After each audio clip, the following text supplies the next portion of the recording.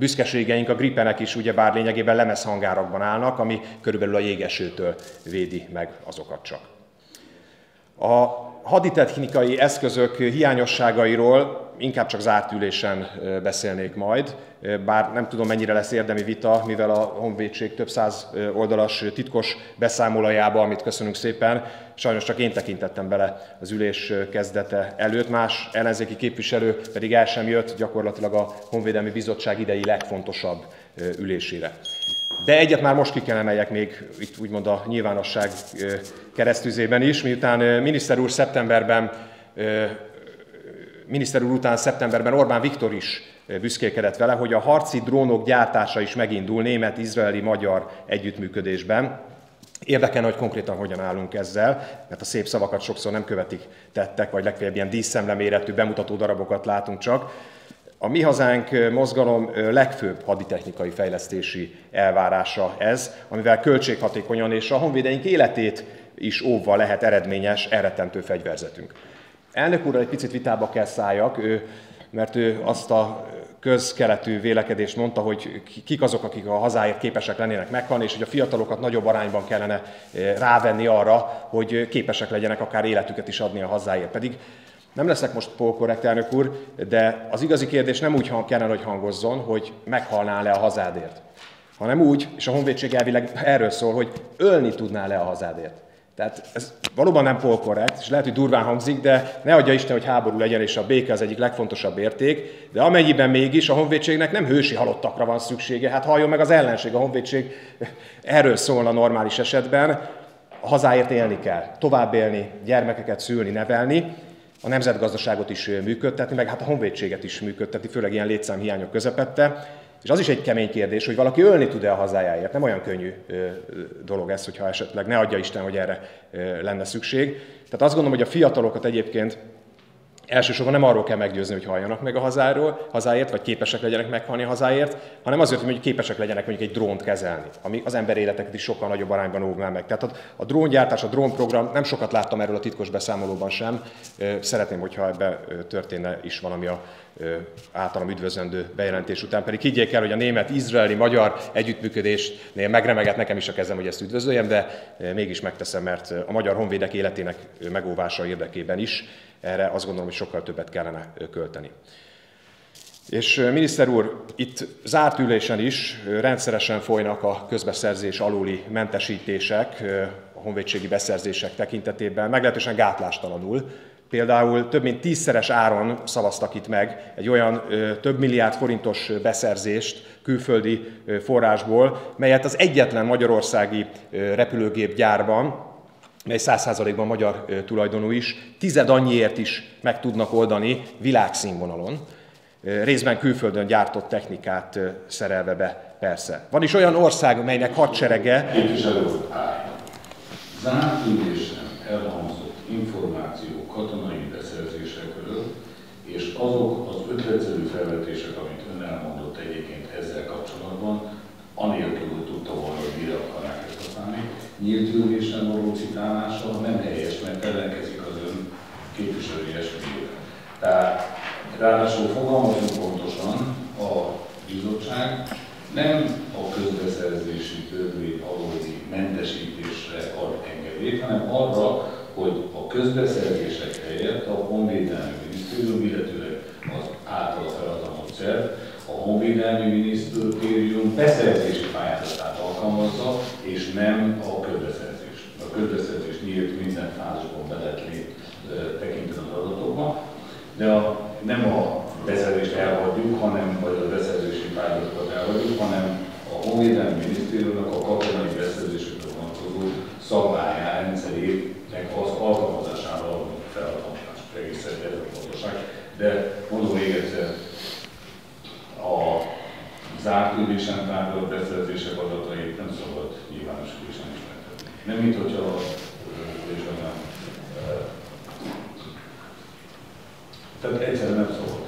Tehát ez, ez, ez Köszönöm, elnök úr, az előzetes figyelmeztetés, hiszen kínosan figyeltem arra, hogy ne mondjak se számadatokat, se cégneveket, se képességfejlesztési terület konkrét megnevezését, hogy miről van szó, vagy miben van hiányossága a honvédségnek, amelyben egyébként indokolt a képességfejlesztés, ugye ezt a vitában magam is elmondtam, de azt gondolom, hogy a korrupciót titkosítani nem lehet. És amit például előbb mondtam, hogy van olyan ország, melynek hadserege már rendelt ettől a magyar gyártól ilyet, az nem is szerepelt, sőt, a magyar gyár föl sem merült az előterjesztésben. Ugye ez az én információm, az én nyilvános információm, önöknek mégis inkább külföldről kell hasonló eszközrendszer tízszeres áron. Ezt szerintem el kell mondani, és a miniszter úr figyelmét föl kell hívjam itt most a, az egy hozzászólási lehetőségemben erre, mert lehet, hogy ő sem tud erről. Amit mondod, egyszerűen nem fel meg a valóság. Akkor ezt az átülésen folytassuk ezt a vitát. Hoztam konkrét cégneveket, információkat. Ahol vállalat fogalmazott, csak úgy, csak úgy, De... korrupciót nem lehet titkosítani, semmifajta korrupcióról nincsen szó.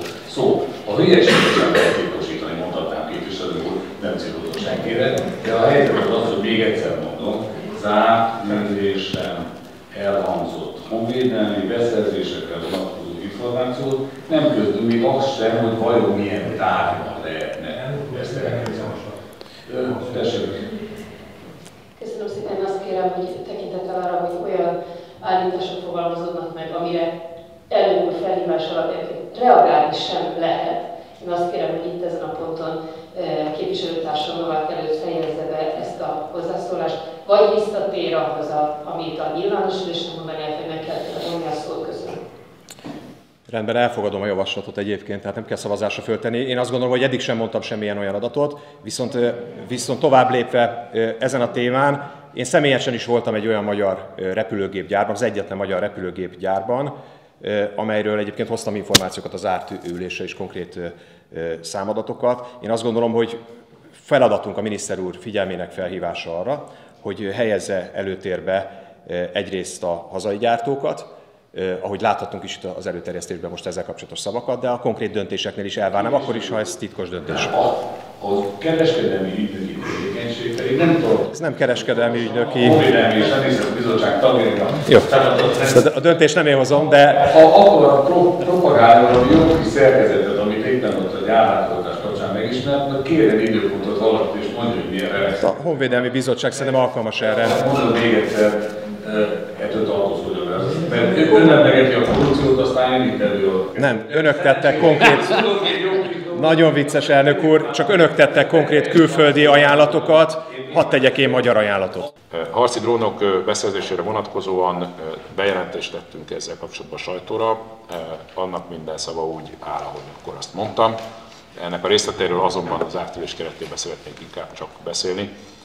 Ez általában vonatkozik minden olyan az ön által a közbeszerzések kérdéskörében feltett dologra, ami teljesen hogy mondjam, felfoghatatlanul kizárólag ezt a, a, a, a potenciális visszaélések szempontját hozza, ami nyilvánvaló képtelenség, ugyanakkor elfelejti, hogy a beszerzéseink szempontjából a magyar nemzeti érdekvédelme a döntő.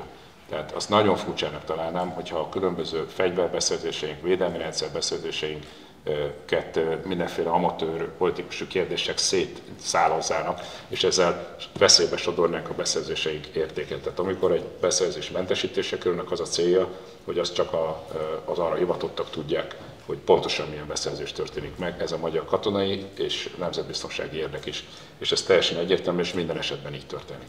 Az idő rövidsége miatt nem kérek így amúgy érdemi válasz lehetőséget, bár több dolog szerintem nem felelt meg a valóságnak, de annyi kérésem volna, hogyha a miniszter úr úgy látom nem tud maradni az zárt ülésre, hogy remélem lesz egy megbizotja, akinek ezt a bizonyos általam korrupciónak minősített esetnek a részleteit, konkrét számokat, képességeket, amiknek utána jártam személyesen is ebben a magyar repülőgépgyárban, ezt, ezt valakivel közölhetem, mert itt a bizottságban egyedül voltam, aki ezzel ellen szavaztam. Sajnos a Zrínyi 2026 honvédelmi és haderőfejlesztési programról is kell ejtsek néhány kritikus szót, mert annak beszerzési mennyiségei is csak díszszemleméretűek. Nyilvános adat, elnök úr, mielőtt bármit mond, ahogy ön is mondta, hogy interneten megtalálható adatról beszélt ön is. Hát én is ezt teszem. Tehát azok például egy ukrán támadás nem igen vernének vissza. Például a sokat emlegetett Leopard harckocsink mindössze 13 darabban, ha kiavíthatom miniszter urat, ön 12-ről beszél, de a hírek szerint nem csak a 12 darab 24 vagy 12 darab 2A4 hú típus van már Magyarországon, hanem a hírek szerint egy egyetlen egy darab 2A7 hú verzió is, ha csak nem vitték vissza. De ezen az egy darabon nem veszünk össze. Vessük össze ezt a 12-13 darab tankot, például a Horti korszak 470 darab magyar fejlesztésű Turán harckocsijával. Tehát bizony a Trianonban megnyomorított Magyarország a haderőfejlesztésre vonatkozó korlátozásoknak az 1938-as eltörlése után az európai tengelyhatalmak harmadik páncélos jármű gyártókapacitását építette ki mindössze néhány év alatt. A szinte nulláról induló magyar hadipar mintegy 950 darab páncélost tudott legyártani 1944 őszéig, most meg legyünk büszkék arra, hogy van mindössze 12 vagy 13 darab leopárdunk. Annak sem tudok örülni önmagában, hogy végre elértük a GDP 2%-os arányát a honvédelmi költségvetésben. Hát ennek akkor örülhetnénk, hogyha ezen a szinten marad is évtizedekig. Utána jutunk el majd esetleg egy olyan felhalmozott eszközkészetre, hogy, hogy valami, valami végre tudjon hajtani a honvédség a törvényileg előírt kötelezettségeiből, és alkalmas legyen rá.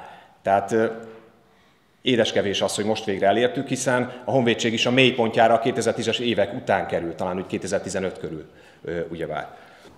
A Zrínyi honvédelmi program, amit már nem is lényeg hívunk, hanem honvédelmi és haderőfejlesztési programnak nevezünk, abban szeretnék ragaszkodni a 12-es számomhoz, nem véletlenül mondtam, 12 darab Leopard 2 van, egy valóban bejött az országban, aztán kiment az országba, és majd újra visszajön több másikkal együtt, de ezért sem érdemes ezek, ezt mindig megmondjuk pontosan és precízenek, nyilvánvaló és transzparens számok, és egyébként pedig, ahogy a beszámolóban is említettem, Magyarország harckocsi gyárat épített fel, és azon dolgozik, hogy minél nagyobb számban legyártson ilyen harckocsikat. A haderő képünk is tartalmaz mind a úgynevezett main battle tank, vagy nagy harckocsik területén, mind pedig a páncélozott gyalogsági harcjárművek területén egy lényeges növekedés, és az ezzel kapcsolatos termelés pedig zajlik, tehát ez, ez csak önmagamat ismételném, ha, ha azt elmondanám. Azt is elmondtam, hogy a GDP 2%-ának a beállítása az nem időleges, hanem hosszú távú.